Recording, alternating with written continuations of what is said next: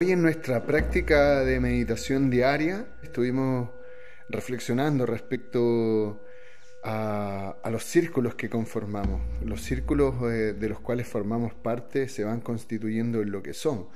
Si conformamos un grupo de, músicos que, tienen un desarrollo y un avance muchísimo más poderoso que el nuestro, nosotros al pertenecer a ese grupo, eh, en la medida que nos vamos relacionando y, vamos experimentando con ellos y estamos constantemente allí presentes, vamos a ir nivelando ese nivel básico o personal que tenemos hacia ese nivel que el grupo contiene.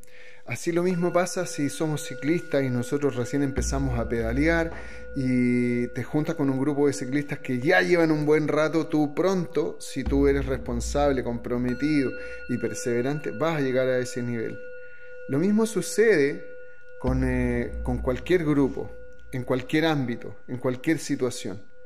Por, en contraste sucede que si tú conformas un grupo que mediocre, conformista, eh, donde algunas condiciones son negativas para alguno de ellos y tienen un comportamiento inadecuado, carreteros, procrastinadores, desinteresados por la transformación y el cambio, tú vas a terminar siendo igual.